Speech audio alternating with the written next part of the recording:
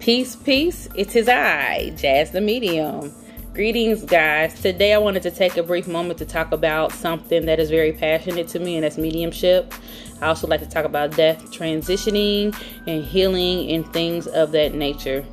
As you all know, we, most of us, even yourself, have lost someone near and dear to us or someone close to us. And sometimes it's difficult for us because we miss the physical aspect of that person. We miss touching them or hugging them or being able to call them on the phone and hear their voice or seeing them. You know, we're used to not being able to contact them with our five senses.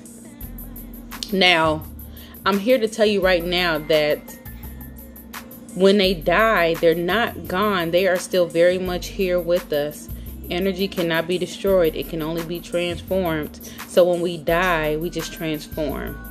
And to the naked eye, of course, some of us, we can't see them. Now, if you would like to connect with your loved ones, um, here are a few things you can do. You can ask, you can speak to them and ask them to come to you in dreams. If you have a dream about a loved one, more than likely that is them connecting with you, okay? Another thing is pay attention to other things. Like if your loved one had a favorite song and all of a sudden you're hearing the song on the radio all the time and you never really heard the song on the radio before, more than likely that's a message from your loved one. Or an example would be my grandmother. She had a smell. She didn't stink. It was just her scent. I just knew this scent. It just reminded me of her house. When I went over her house, have you ever went over something like, you know what? This house smell like grandma house. It don't stink. It just has. It just smells like her house. It just smells like her.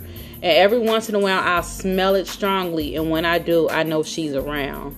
So pay attention to stuff like that, or words, or one time I was really, really, really missing my mom, and I just happened to be on my way to work, and on the driver's plate in front of me, there was her name. Those are all signs that they are still very much with us. If there's anything that our loved ones want us to know, they want us to know that they love us, they want us to know that they're here, and they definitely want us to know that they're okay. Because I know with the the um the, the thought process that people have through the certain religions and teachings of heaven and hell, you you worry about your loved one, you worry about where they are, where they're going. Spirit definitely wants you to know, and they want us to know that they're okay they're fine. Most of the times when I connect with them, they're very much at peace and they're okay. If you would like to book a reading or connect with me, you can reach me at www.jazzthemedium.com or you can email me if you have any questions at jazzthemedium at gmail.com. Please do not forget to hit the subscribe button here on this YouTube channel and follow me for more videos. And please feel free to email me any free questions for my Wednesday show, What to Do Wednesday. Peace.